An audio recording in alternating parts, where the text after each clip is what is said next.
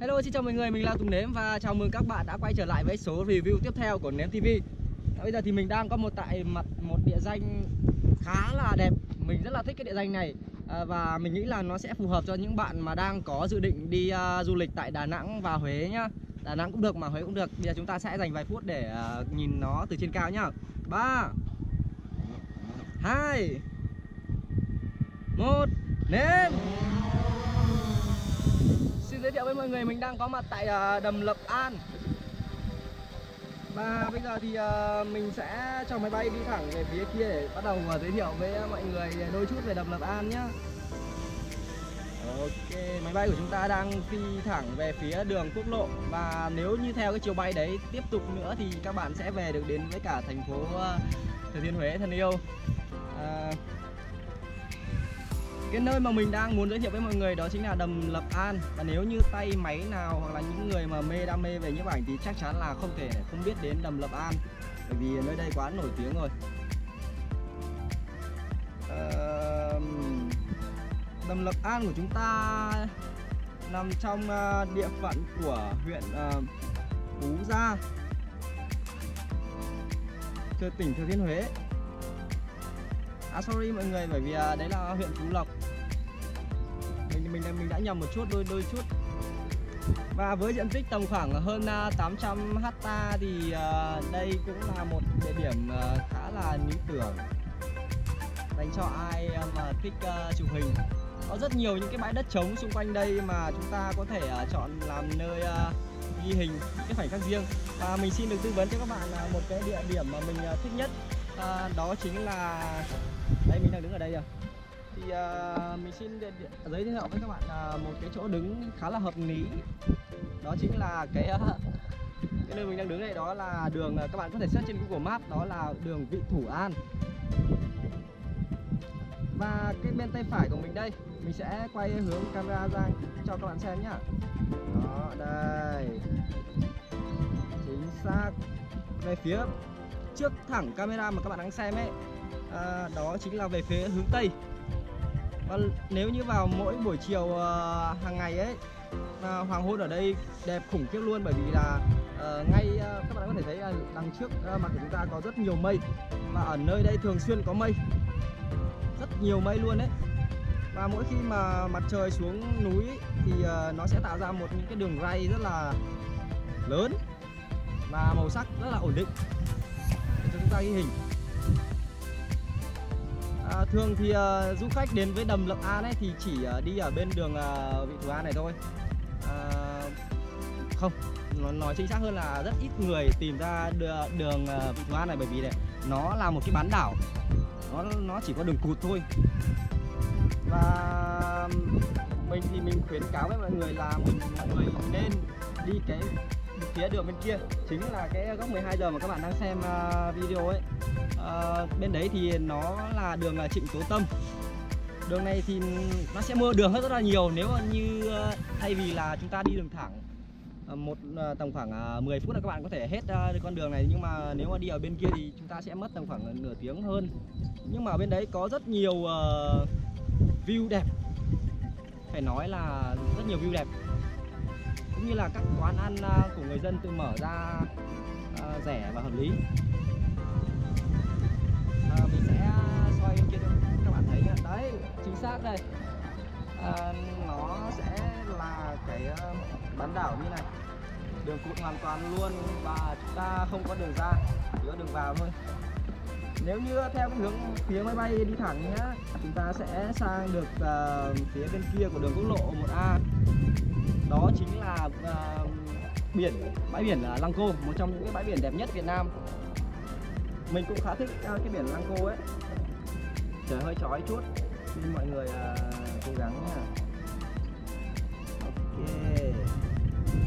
Và nếu như các bạn cứ tiếp tục bay thẳng bay thẳng bay thẳng mãi thì chúng ta sẽ đến một uh, cái nhà ga để uh, gọi là nhà ga thôi. Uh, nơi đấy thì uh, chọn uh, là nơi mà vận chuyển xe máy qua hầm Hải Vân. Dành cho những bạn nào mà không muốn ờ, tự mình ờ, chạy xe qua hầm Hải Vân. Đó, đường quốc lộ một đã của chúng sắp tới nơi rồi. Bạn ờ, thật tiếc nếu như ai mà đến đèo Hải Vân rồi mà lại phải đi hầm thì mình nghĩ là không nên.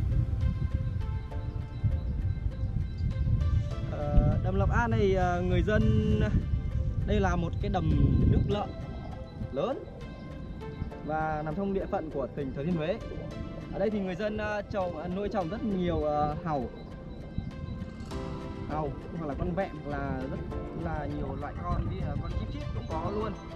Hồi nãy thì mình có vào trong ờ, một quán ăn ăn thử thì chip chip ở đây rất là tươi và ngon.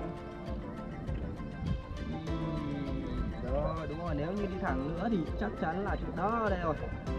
Các bạn đang được thấy biển Lăng Cô phía bên kia. Từ cái khoảng cách mà mình đang đứng đây à, ra đến biển Lăng Cô và qua đường quốc lộ 1 là một cây số đường chim bay. Mình sẽ tiếp tục bay thử nha. Cái đèo Long à, đằng phía đằng sau mình ấy chính là dãy núi mà bao quanh à, đầm Lập An. Dãy Bạch Mã. Và chúng ta sẽ tựa lưng vào cái ờ, đèo ô oh, máy bay của chúng ta đã mất kết nối rồi. À, mình xin phép được lùi máy bay lại. À, mình sẽ không bay xa nữa. Đứng đây và view cho mọi người xem nhá. Quay phía máy bay dần sang phía bên tay trái thì đó chính là con đường quốc lộ 1 dẫn về ờ, tỉnh Thừa Thiên Huế. Đó, bãi bãi biển Lăng Cô đó rất là trong và xanh luôn. Đấy, cái con đường mà góc ờ, 9 giờ kia đó chính là cái con đường mà dẫn ra ờ, cái nơi mà mình đang đứng. Hôm nay thì trời nhiều mây. À, rồi bây giờ chúng ta sẽ quay từ từ sang bên phải. Tiếp tục. Quay từ từ không mọi người chóng mặt nhá. Và chúng ta sẽ thấy được cái con đường quốc lộ 1 đang dẫn về hầm Hải Vân để sang với thành phố Đà Nẵng.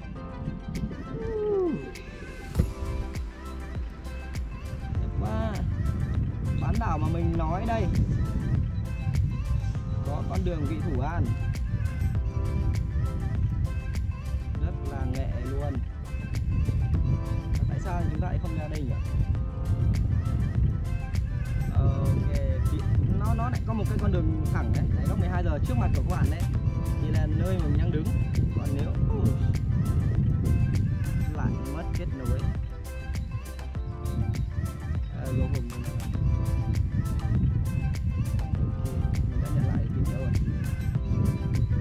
Vâng, à, giới thiệu mọi người thêm chút chút để cho mọi người à, biết thêm về à, đầm Lập An nha. Đấy nếu mà các bạn bay thẳng ở đấy thì các bạn sẽ ra được đèo à, Phú Gia.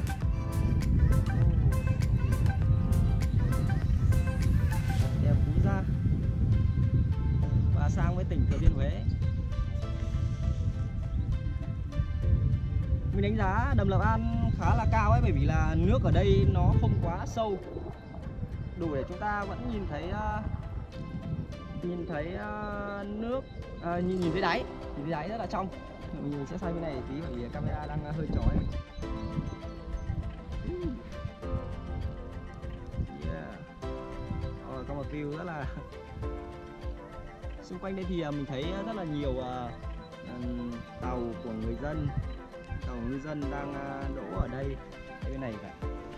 Máy bay đang xuống phía bên này đây đúng không đấy một cái à, tàu à, đang thương lái đang đua hàu đấy các bạn nhìn thấy cái những cái lớp cát ở phía bên dưới ấy, nó nó như giống như kiểu là một cái bức tranh sơn dầu. Mình cảm cảm giác giống một cái bức tranh sơn dầu.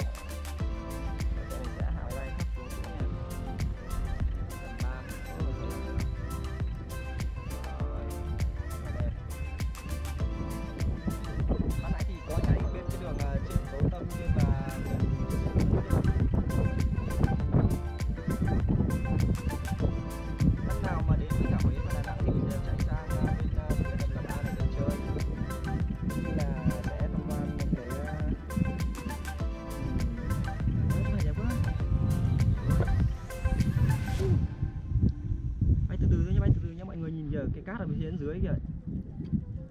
Đẹp lắm luôn đấy. Biết là còn cái thông tin gì mà cần giúp với mọi người nhận cáo nhỉ? Ờ, chắc là mình cũng không có nhiều thông tin gì về ờ, cái đầm Lập a này để cho mọi người giới, ờ, giới thiệu mọi người đâu. Mình chỉ cần uh, giới thiệu cho mọi người về cái giờ giấc chụp. Chắc chắn là vào uh, giờ Gold House vào buổi chiều mà giờ vàng ấy thì các bạn sẽ Ui, con đường này. Trời ơi đá cháy luôn đẹp lắm đẹp lắm, mọi người ơi, đẹp lắm. Nhớ đến với đầm Lập An nhá, mình cực kỳ thích uh, đầm Lập An luôn.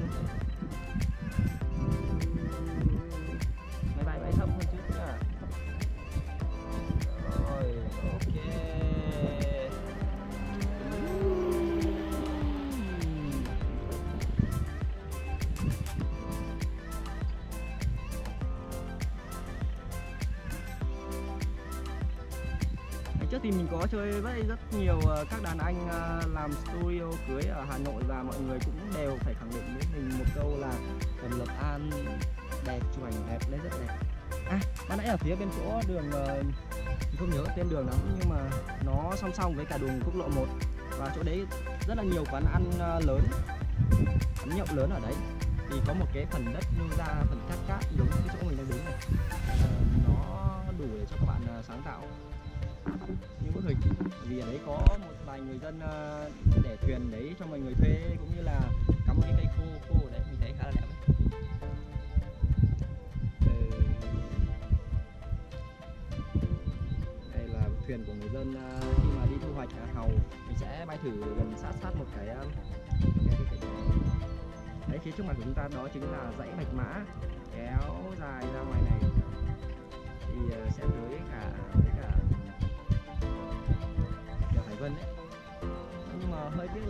tiếc là trời đang mịt quá, mình không thể chọn lựa được cái thời khắc đẹp hơn. Do là mình còn phải đi ờ, review cả ở biển Lăng Cô ngày nay qua luôn anh nhá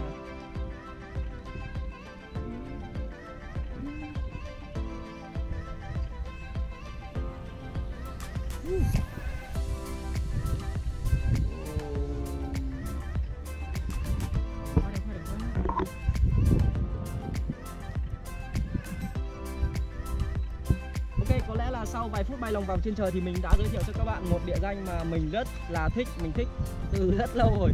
Và nếu như bạn nào mà có có dịp đến với cả Đà Nẵng này, có dịp đến với Huế này thì uh, mình tin là cái uh, đầm Lập An này sẽ là một địa điểm lý tưởng để cho các bạn uh, nghỉ ngơi này bởi vì nó rất gần với cả bãi biển Lăng Cô dành cho nếu bạn nào thích tắm thì có thể tắm được.